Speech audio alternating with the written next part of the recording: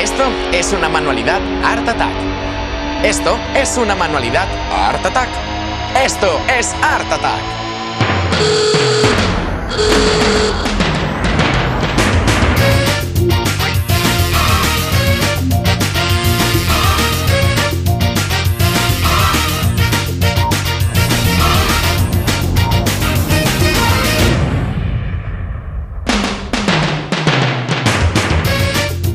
Hola artemaníaco, esto es Art Attack, el programa de manualidades que te demuestra que no hay que ser un gran experto para ser todo un artista. ¿Qué? ¿Nos has echado de menos? Bueno, pero ha sido muy poco tiempo.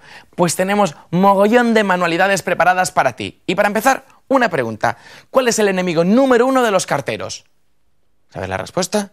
Claro, los perros. Esos que les persiguen ahí. Déjame, déjame. Oye, pero mira este perro que tengo yo aquí. ¿Te gusta? No muerde, no ladra y sirve para guardar tus mensajes. ¿Quieres saber cómo lo he hecho? Pues muy sencillo. Para empezar, necesitas tres trozos de cartón como los que tengo aquí. Grandes, buenos, bonitos y preparados para hacer una manualidad Art Attack.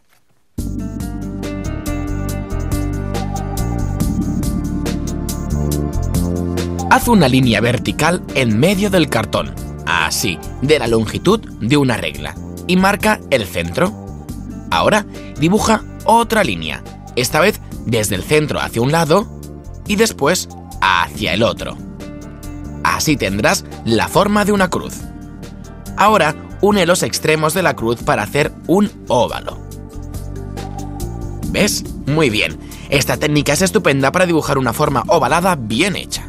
Ahora recórtalo con cuidado con unas tijeras. Ya hemos recortado nuestro trozo de cartón y nos ha quedado así. ¿Ves? Perfecto. Ahora lo colocamos encima del segundo trozo de cartón. Y el siguiente paso, así. Repasa la parte inferior del óvalo para conseguir una línea curva. Déjala a un lado y une cada extremo de la línea curva con una línea ligeramente ondulada. Así. Ahora recorta esta sección. Esta será la mandíbula inferior del perro. Ahora gira este trozo y pon cola por la parte de abajo. Por aquí, pero no por el borde superior, ¿eh?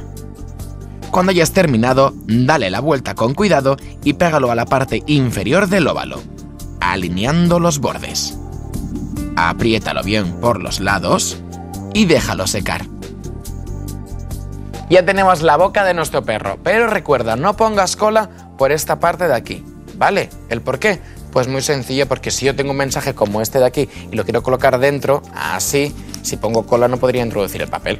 Pues nada, ahora vamos a hacer las distintas partes de nuestro perro. Recuerda que tenemos un trozo de cartón sin utilizar, pues recupéralo.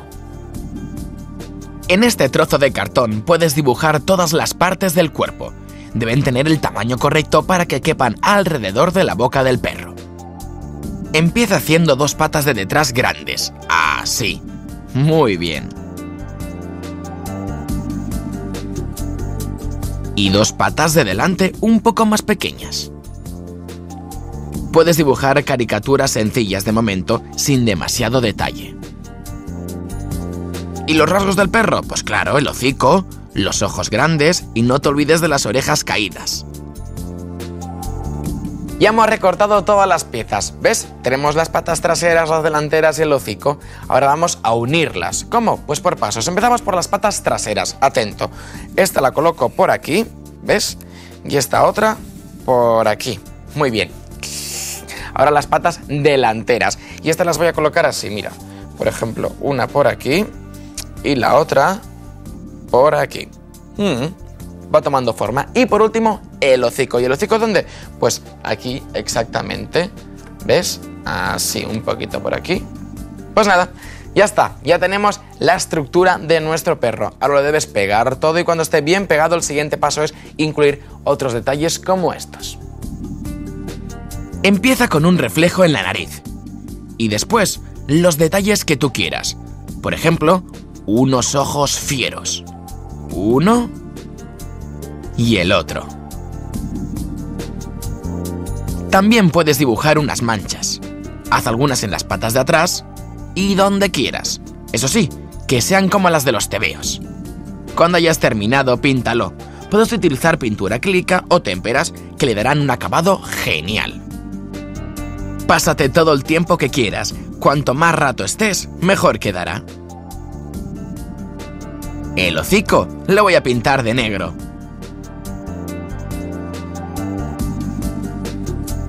Y los ojos blancos.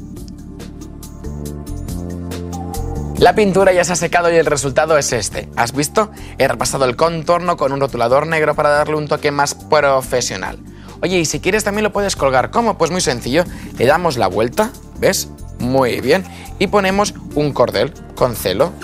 ¿Ves? Así lo podemos colgar y no pasa nada. Atención, vamos a comprobar que funciona bien. Lo colocamos y vamos a ver. Primer mensaje, este muy importante lo tengo que colocar aquí y que no se me olvide. Segundo mensaje, este, aquí. Y por último, tengo este mensaje. Mm, es un dibujo. Voy a colocarlo por aquí. Muy bien, pues nada, ya tenemos nuestro perro. Pero si quieres, puedes hacer más animales. Solo debes recordar la forma ovalada para el cuerpo y para la boca. ¿Vale? Pues si quieres hacer diferentes animales, te voy a dar unos cuantos ejemplos. Podrías hacer una culebra serpenteante como esta, con una lengua bífida. O a ver, vamos a ver, pego dos ojos grandotes, las patas de delante y las de detrás. ¿Y el resultado? Una rana. ¿Y qué me dices de esto? Es un poco más complicado, ¿eh? El cuerpo por aquí, un par de aletas y también por ejemplo, unos ojos terroríficos. ¡Ay! ¡Es un tiburón! La pintura ya se ha secado y vamos a ver cómo han quedado nuestros animales. Empezamos por la serpiente. A ver, que no nos muerda, ¿eh? Empezamos, mira, ¿viste? Los colores que he colocado son colores típicos de serpiente. ¿Y qué me dices de la lengua? Aquí la tenemos. Perfecto. Y los mensajes por la parte de arriba. Muy bien. Pues nada, oye, tenemos más animales. Por ejemplo, nuestra rana, que la ha pintado de verde y con topos amarillos. Aquí la tenemos, con los mensajes ahí en la boca. Para que leas todos los mensajes y no se te pierda ninguno. Y por último, a ver, el animal más fiero de la fauna marina. Pues claro, te estoy hablando del tiburón. Aquí lo tienes. ¿Ya has visto la mandíbula? Parecen que sean colmillos. Pues no, son mensajes. Pues nada, oye, que, que esto no acaba, ¿eh? Que seguimos en Art Attack, así que no te me vayas.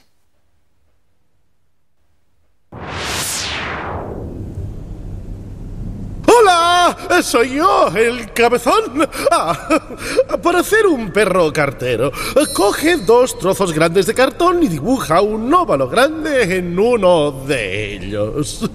Lo mejor es dibujar una cruz y unir los extremos con una línea curva. Colócala sobre el otro pedazo de cartón y repasa el contorno de abajo. Une los dos lados con una curva y recórtalo. Pégalos solo por la parte de abajo. Dibuja y recorta las demás partes del cuerpo y cuando estén recortadas y pegadas en su sitio, estará listo para pintarlo del color que quieras. Por último, coloca cartas, fotos y dibujos para hacer los dientes de tu perro cartero de Art Attack.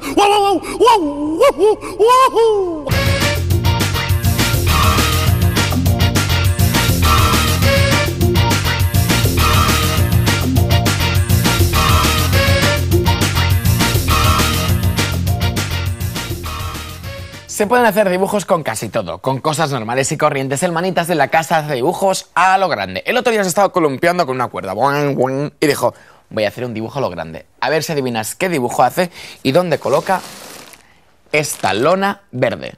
Pues ahí tenemos el dibujo del manitas.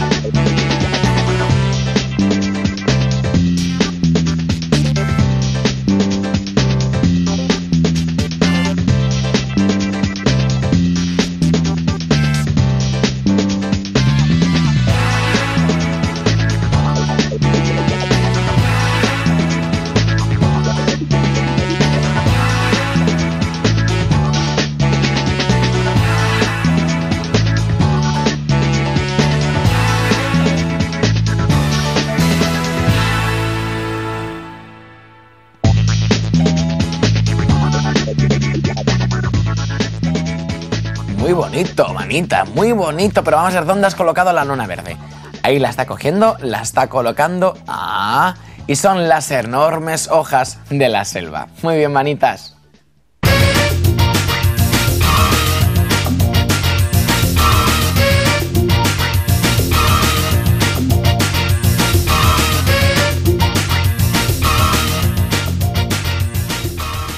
Seguimos aquí, en Artata. Y atención porque hoy vamos a pintar con rotuladores. Y me dirás, bueno, Jordi, yo pinto siempre con rotuladores. Colorear, pintar, rellenar. No, vamos a entendernos. Para empezar, lo que te tengo que explicar es que existen dos tipos de rotuladores, los permanentes y los no permanentes. Te los presento. Aquí tienes el rotulador que es permanente y aquí los que no son permanentes. ¿Que aún no lo has entendido muy bien? Tranquilo, te voy a demostrar. Cojo el rotulador permanente. ¿Por qué se llama permanente? Pues mira, porque yo hago aquí, por ejemplo, un garabato. Una A y una A de Art Attack. Ahora yo cojo un poquito de agua, mojo un pincel y paso el agua por encima y como ves, la tinta no se corre, es permanente. En cambio, si utilizo los no permanentes, ¿qué pasará? Vamos a verlo. Cojo un rotulador, por ejemplo, el azul, y voy a hacer un garabato por aquí alrededor. Muy bien, ahora quizá no se tendría que correr la tinta. Pues vamos a verlo. Mojo el pincel, pongo el agua por encima y, como ves, la tinta se corre. ¿Has visto? Muy bien, como si fuera una acuarela. Pues con estos rotuladores, los que no son permanentes, los que son más baratos, los que tienes en casa, son los que vamos a utilizar para dibujar. Pero antes de todo, vamos a hacer un dibujo a lápiz sencillo, como este. Yo ya he hecho mi dibujo a lápiz y ahora lo voy a repasar con un rotulador permanente negro, de los que no se corren. Recuerda, todos los detalles, ¿eh? Si quieres, puedes borrar las marcas a lápiz y el resultado será este de aquí. ¿Ves? Tenemos a nuestro skate. Pero claro, mmm, esto está un poquito soso, le falta color. Color que vamos a incluir con nuestros rotuladores, los que tengo aquí. Recuerda, deben ser rotuladores no permanentes. Pues nada, los normales, los que tienes por casa. Seguimos aquí, en Art Attack. Empieza a pintar el dibujo con los rotuladores. No hace falta que lo hagas con demasiado cuidado, pero utiliza un color para cada sección. Haz algunos garabatos en cada una. Usa colores vivos.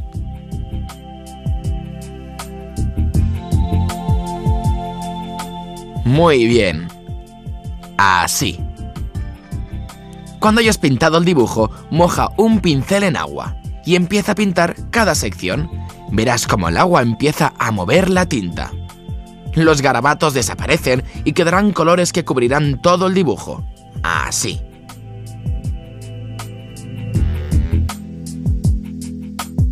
Muy bien. Limpia el pincel cuando cambies de color para que no se mezclen. te quedarán unos colores espectaculares. Deja que se seque el dibujo y este es el resultado. ¿Ves? Ya tenemos nuestro dibujo y lo hemos pintado con rotuladores, pero rotuladores que no son permanentes, ¿eh? que son solubles, que con el agua se corre la tinta. Pues nada, oye, esto no se ha acabado, ¿eh? Aún nos queda mucho más, así que quédate aquí, en Art Attack. ¡Oh! ¡Vaya idea! ¡Más estupenda! O sea, primero haces el dibujo con un rotulador permanente, de los que no se corren. Después lo coloreas con los rotuladores que no son permanentes, los que sí se corren. Y luego solo tienes que utilizar agua y un pincel para pintar tu dibujo. ¿Ahora quieres ver el mío? ¡Oh! ¡No! Ah, creo que lo he hecho al revés.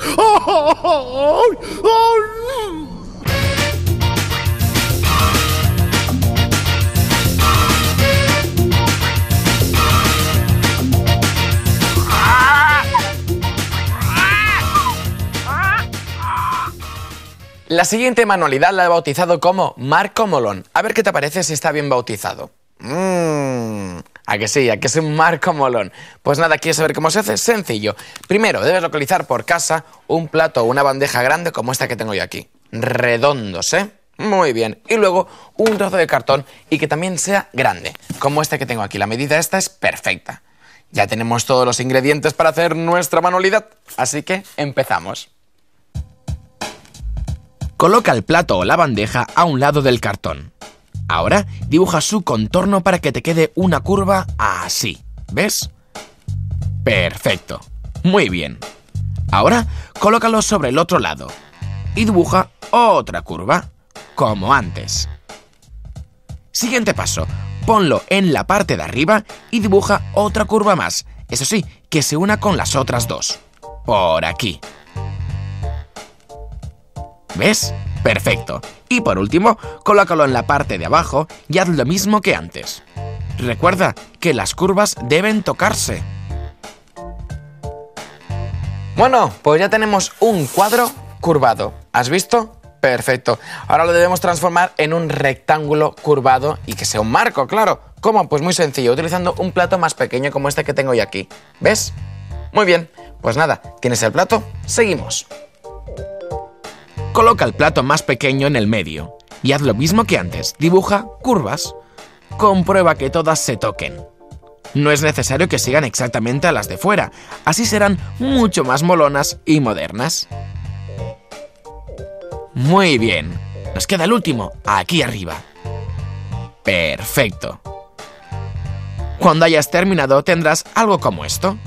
Ahora recorta el exterior del marco y también la parte de dentro. Aquí tenemos nuestro marco curvado. Fíjate, qué bien ha quedado. Muy bien. Ahora vamos a pintarlo con un diseño original, divertido, made in Art Attack. Una buena idea es dibujar rayas onduladas por todo el marco. No tienen que quedar perfectas. Cuanto más temblorosas, mejor. Cuando todo el marco esté lleno de líneas temblorosas, píntalo con colores chillones. Puedes usar témperas o pintura acrílica, pero recuerda que los colores deben ser de lo más guays. Pinta cada sección de un color distinto. Eso le dará un toque especial. Tómate tu tiempo para que quede lo mejor posible. Así. Muy bien. Bueno, pues nada, ya hemos terminado nuestro marco y mira qué bien ha quedado. ¿Has visto cuántos colores? Te voy a dar un consejo, arte maníaco. Gíralo y píntalo por detrás. Así nunca se te doblará. Ahora ponemos goma adhesiva azul y, atención, el último paso es colocar la foto encima. Y... el resultado es... Este. Muy bien, perfecto un marco molón. Y como siempre te digo, en Artata jugamos con los diseños, con los colores. ¿No quieres hacer líneas verticales? Pues podemos hacer líneas en zigzag. Y mira el resultado, es este. ¿Has visto? Como si fueran las interferencias de un televisor. O si quieres hacer un marco más pequeño, ¿con qué? Pues por ejemplo con el platito de la taza de té más pequeño. Pues aquí tienes el ejemplo, un marco más pequeño y como si fueran burbujas. Muy bien. O si quieres hacer un marco como más psicodélico, como este que tengo yo aquí. Con purpurina, espirales y con una pinta los chicos que hay dentro, que bueno, vaya unos. Pues nada, oye, haz marcos molones. Y nos vemos, eso sí, en el próximo Art Attack. Un placer. Hasta luego.